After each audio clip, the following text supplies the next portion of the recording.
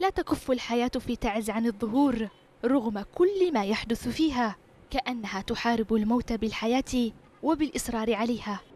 الأطفال يتمسكون بطفولتهم الضائعة لا يتركونها بل يحاولون عيش لحظاتها وإن كانوا مستهدفين. كل يوم تقريبا يستشهد ويجرح العشرات منهم في قصف الميليشيا العشوائي أحياء سكنية مليئة بهم وبأهاليهم. المصادر الطبية تحصر يوميا حصيلة القتلى والجرحى من المدنيين. آخرها استشهاد ثلاثة مدنيين وإصابة عشرة آخرين.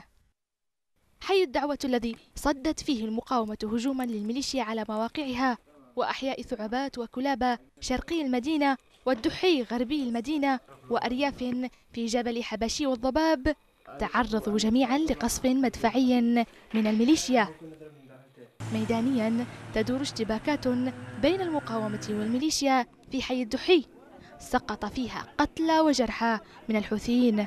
كما سيطرت قوات الجيش والمقاومة على المرتفعات المطلة على الضبايا بقرية المخعف في الأقروض.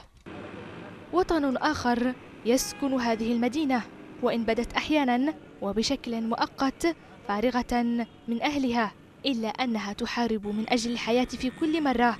يمر الموت من شوارعها.